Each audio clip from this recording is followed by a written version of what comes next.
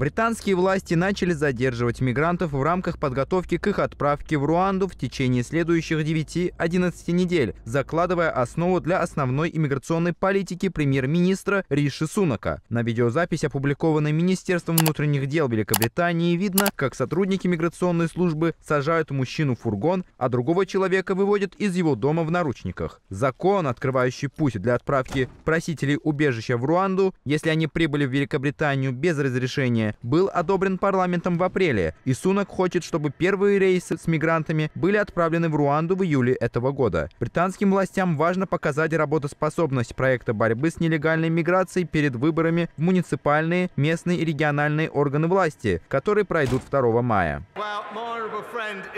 Наш план работает. Легальная миграция, по последним данным, сократилась на 24%, а число студентов и ждивенцев сократилось на 80%. Но мы все знаем большую идею лейбористской партии. Это значит отказаться от плана по Руанде, даже когда он будет реализован. Но, как сказал один из старших консультантов по трудовым вопросам Эндрю Мару, мы не можем просто прийти, отказаться от плана и не иметь ничего, чтобы можно было заменить другим.